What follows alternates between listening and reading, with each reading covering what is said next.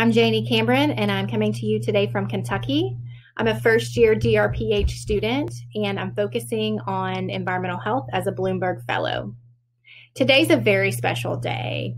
It is actually my birthday, but even more than that, it's a special day because it is National Women and Girls HIV AIDS Awareness Day. So I stand with my colleagues all across the nation to focus on prevention, to reduce stigma related to HIV and AIDS, to increase access to testing and treatment for all women.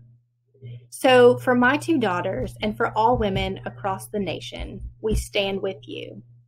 Let us all commit to stop HIV together. Thank you.